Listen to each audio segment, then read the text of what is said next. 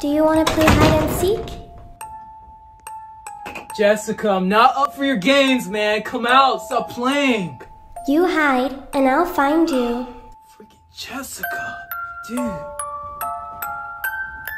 Wait, you're not Jessica. Ah, Do you want to play hide and seek?